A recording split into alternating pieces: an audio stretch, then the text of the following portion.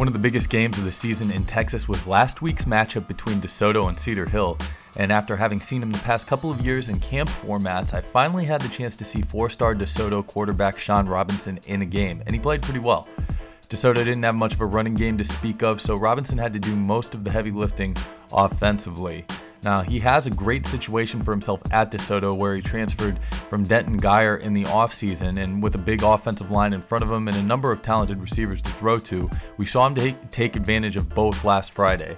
When you think about the ideal dual threat quarterback, Robinson checks a lot of the boxes. He's a big bodied guy that can stand up to contact, and though he isn't shy about running, he isn't looking to bail on a play and take off at the first sign of trouble. Now, some of the things that we have always known about Robinson still held true on Friday night. He's not the most precise passer. I wouldn't go so far as to say he's inaccurate. It's more like when he misses on throws, it's kind of a matter of timing and pacing. As is the case with quarterbacks that are prone to scrambling, you're going to get a few throws off the back foot as well, but he's certainly a throw first guy and did a good job of looking to spread the ball around.